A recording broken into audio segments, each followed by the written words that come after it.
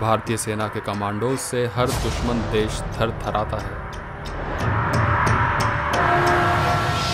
Belgaum commando training centre, Bharat के एक बेहतरीन कमांडो ट्रेनिंग इंस्टीट्यूट में से एक है।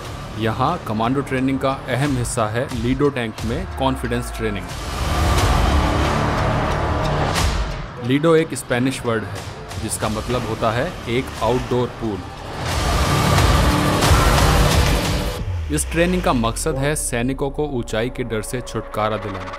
अगर कमांडो लीडो ट्रेनिंग में फेल हो जाता है तो उसे पूरी ट्रेनिंग दोबारा करनी पड़ती है। इस टेस्ट के दो चैलेंजेस होते हैं। पहला चैलेंज है कमांडो स्लाइड। इस स्लाइड में कमांडो को लीडो टैंक के ऊपर एक रोप पे फिसलना पड़ता है।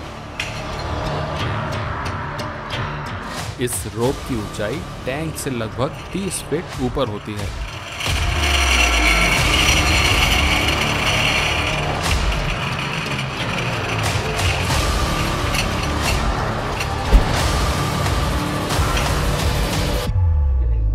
और दूसरे चैलेंज के तीन हिस्से हैं, जिसमें पहला है कॉन्फिडेंस वॉक। कॉन्फिडेंस वॉक में कमांडो को एक फिट चौड़े पटरे पे कॉन्फिडेंटली चलना पड़ता है। ये लीडो टैंक से करीबन 50 फीट ऊपर होता है। दूसरा हिस्सा है मंकी क्रॉल मंकी क्रॉल में कमांडो को एक रोप पे मंकी क्रॉल करनी पड़ती है। कमांडोज के हाथ भले ही तैरने के बाद चिकने हो गए हों तो भी उन्हें इस चैलेंज में लीडो टैंक से लगभग 55 फीट ऊँचे रोप पे क्रॉल करना पड़ता है। तीसरा हिस्सा है लीडो जंप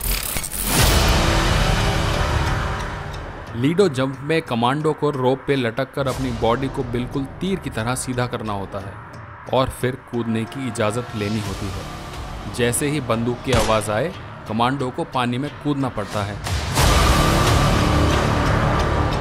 पानी में जितने कम छीटे उड़ेंगे, छलांग उतनी ही बेहतरीन होगी।